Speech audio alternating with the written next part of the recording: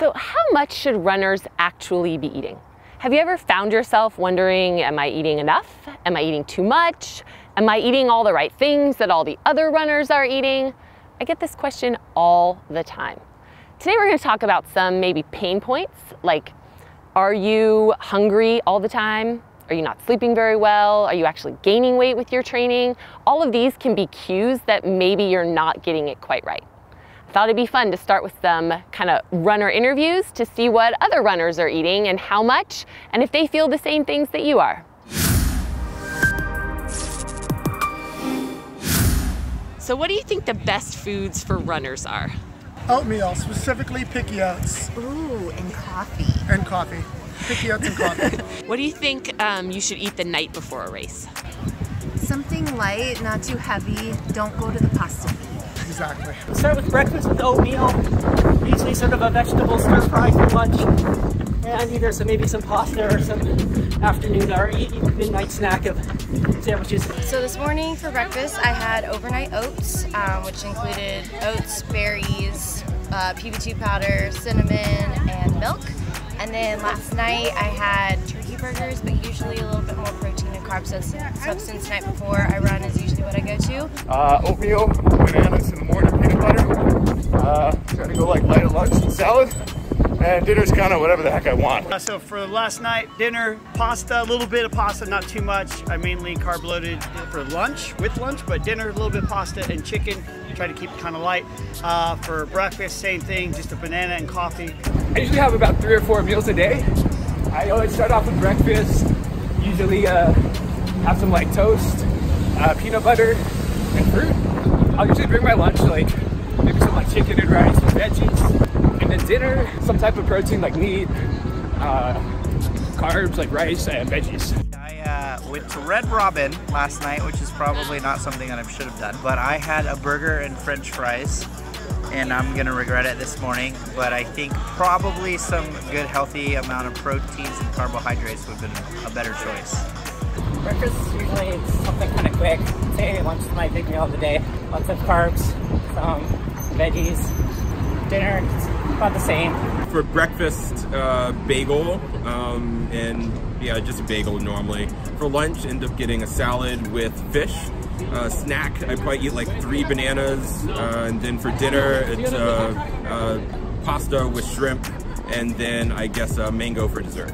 Breakfast is like oatmeal, raisins, and chia seeds, banana, and I uh, have like a little yogurt for a like mid-morning snack lunch I try and, you know, make sure I get like one third vegetables, one third meat, one third carbs. I try and keep it balanced.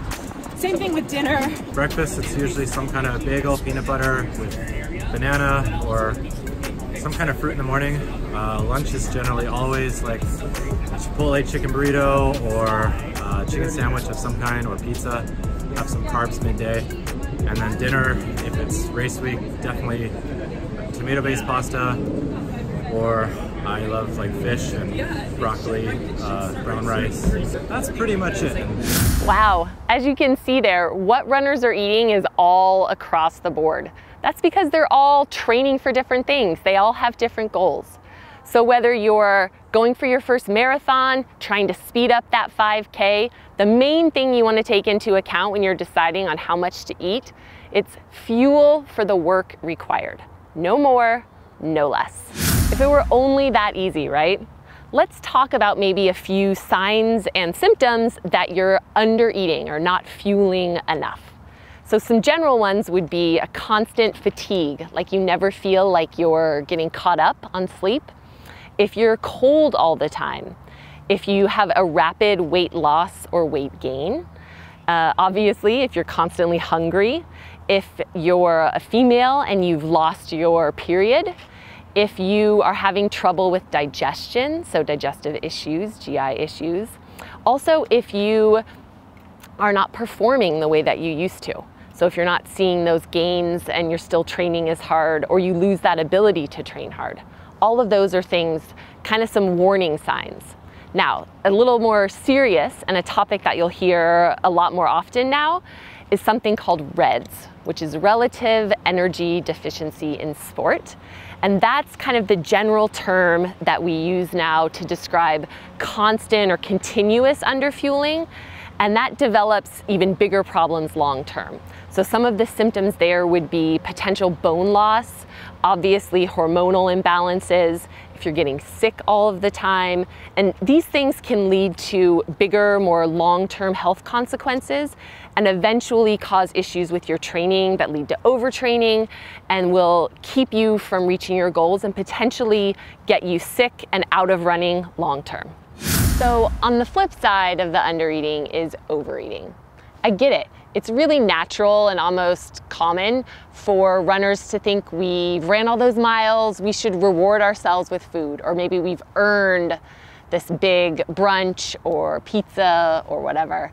And I'm not saying that you didn't earn that, but how do you know when to kind of, when to stop? How do you know what the limits are?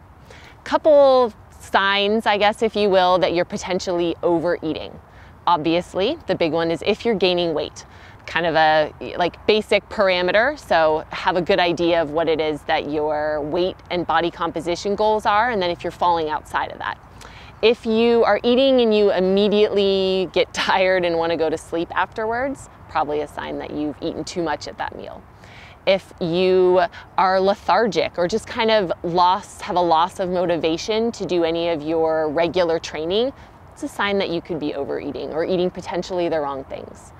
If you have acid reflux, uh, that's definitely a sign that you're eating too much.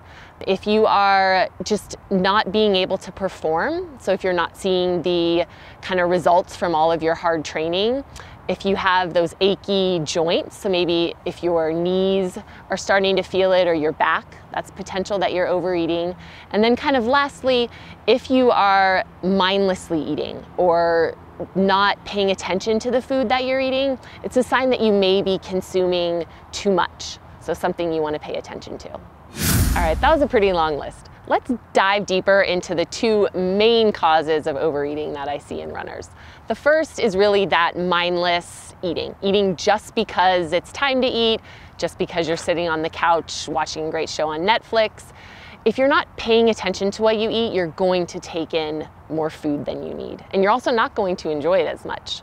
Secondly, if you are constantly rewarding yourself with after every run with either those treat foods or large quantities of foods, that's where you're going to start to see some of those problems and that's where runners will tend to overeat and you're not going to reach those performance or body composition goals that you want.